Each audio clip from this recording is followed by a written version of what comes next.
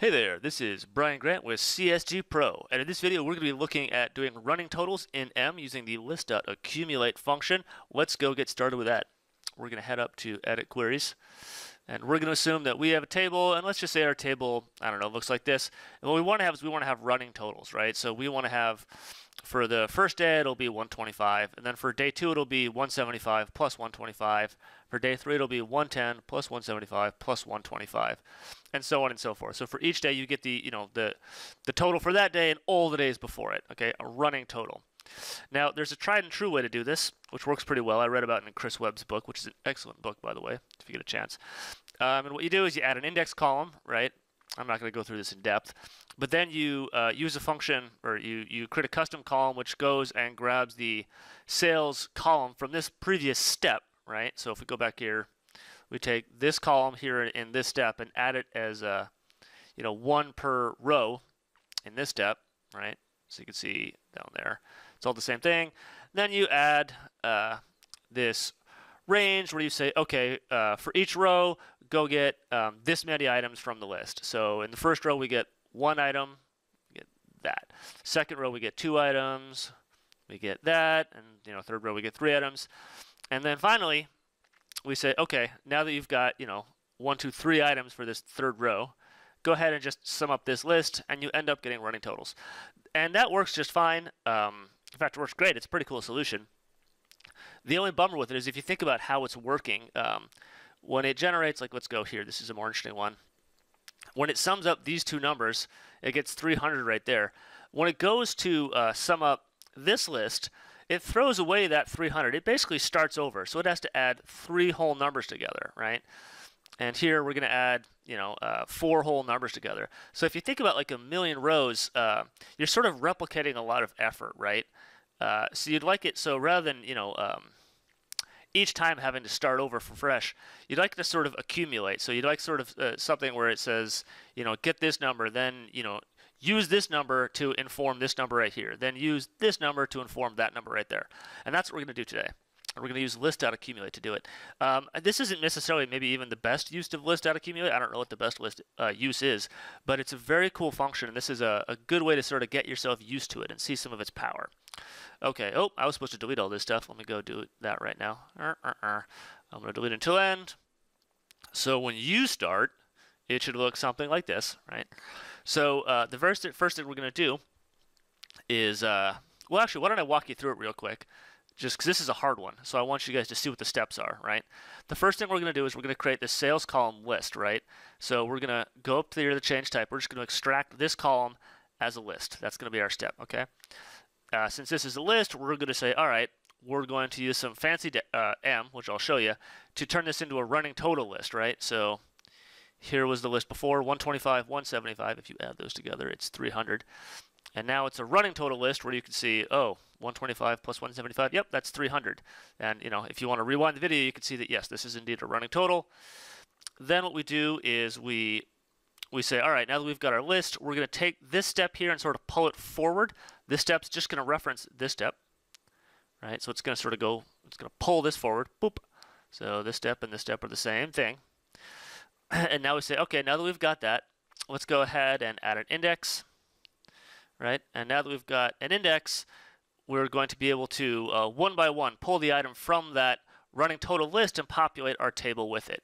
So, you know, uh, row one will say grab the first item in the list and put it there. Row two will say grab the uh, position one item in the list and put it there. Row three will say grab the position two item in the list and put it there. Okay, that's what we're going to do. So let's do that. So uh, item one, we're going to head over to change type. We're going to right click and we're going to insert a step, right? And so why are we going to insert a step? Well, because uh, you know we're going to uh, do something you don't normally do here in M. We're going to go ahead and uh, rather than creating a table, we're going to create a list. So uh, we could just go get the step we had before, change type. But if we uh, append our our M code here with sales, like that in these square brackets, it's going to say, oh, you don't want the change type, just the table. You want the sales column from that table. And it's going to return it as a list, okay? So now we've got the sales column as a list, right? Now let's change, let's give ourselves a better name here. So I'm going to go ahead and hit rename, and I'm going to call this sales column list and hit enter.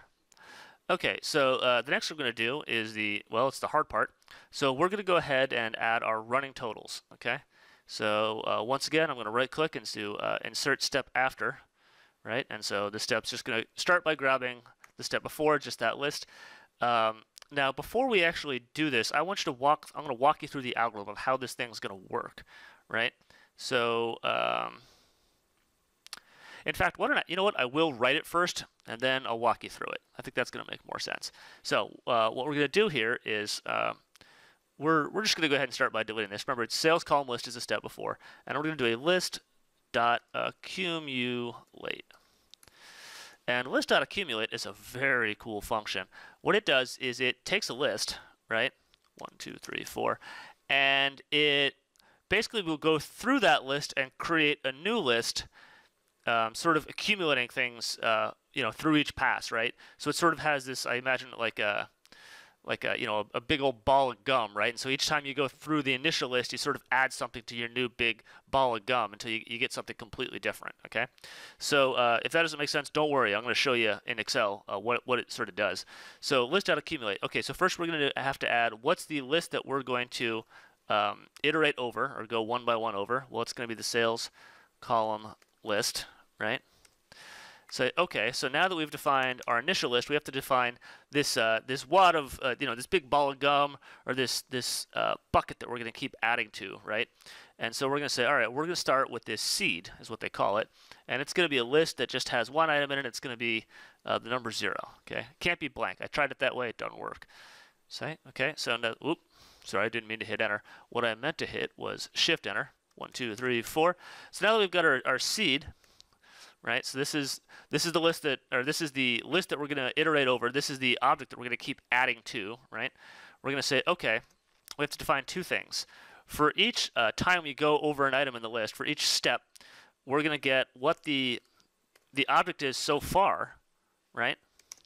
And we're also going to have the that particular item for that row from the sales column. So we're going to say this step. Okay, so we're going to say, all right, we're going to pass those two things as an argument. So for each step, we're going to have, you know, what the what the object is so far, and then the the item from the current. I mean, it's not really a row in a list, but the current, you know, uh, position in the list, right, being passed in. So Shift Enter, three, four. So uh, each time we go through, we're going to take the results so far, right, which right now it starts off as this, you know, this list with an item in it, right, and we're going to Shift Enter, one, two, three, four we're going to append, we're going to add uh, an item to that list, right? So we're going to sort of take uh, two lists and add, and add the second one to the first one. Okay, so well, what's the second item in the list? The second item in the list is going to be, uh, open parentheses, the list dot last, rah, list dot last of so far, right? And close parentheses, plus the this step. Okay? And close parentheses and shift enter, and I think I could close that out, and I think that's correct. Let's see, can I? Doop, doop, doop, doop, doop. Let's see, I think that should be right. So we hit enter. Oops, we cannot apply ampersand, list and number. Oh, I'm sorry. Those aren't parentheses. Those are curly braces, right? Okay, so uh, imagine that uh, so far this uh, seed object, it's always going to be a list, right? Because we started it off as a list. So when we make our first pass through, we're going to say, okay, we're going to take this list so far, which is just this right now, right?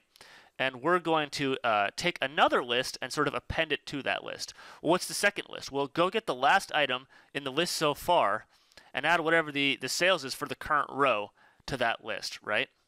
Okay, so now when we hit enter, should get, a, should get the results that we want.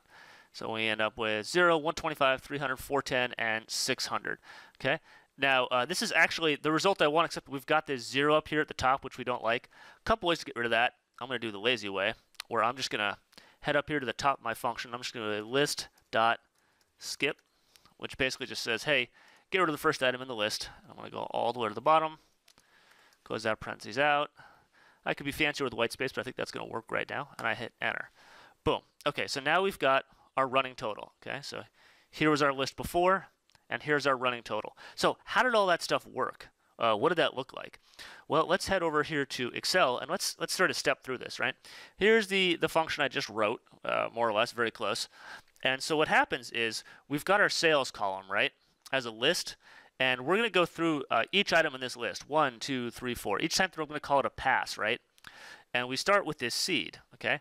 And so for each pass, like we can imagine here in pass one, we take what we've got so far, which starts off as the seed, right?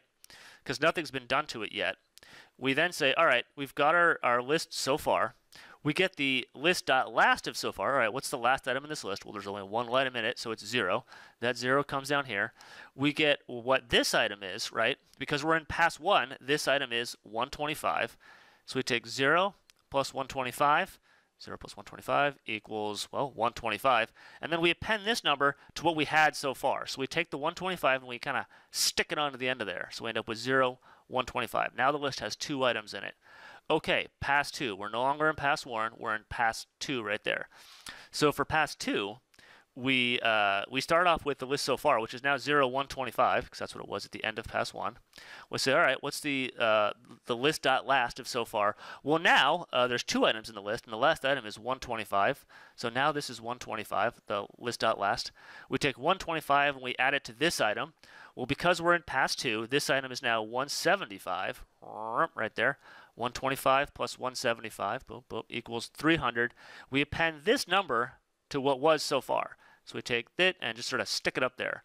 And we end up with a new so far, right? So we now take this, go into pass 3. We've got a new so far. What's the last item in so far? Well, now it's got three items in it, so it's 300.